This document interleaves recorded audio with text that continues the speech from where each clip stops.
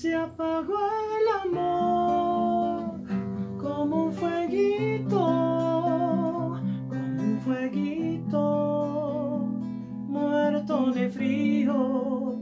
Nunca más veré arder sus ojos, arder sus ojos tan amorosos.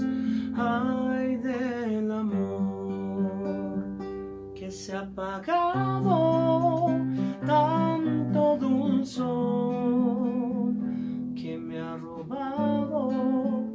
¿Cómo iba a pensar que acabaría si me decía siempre te de amar?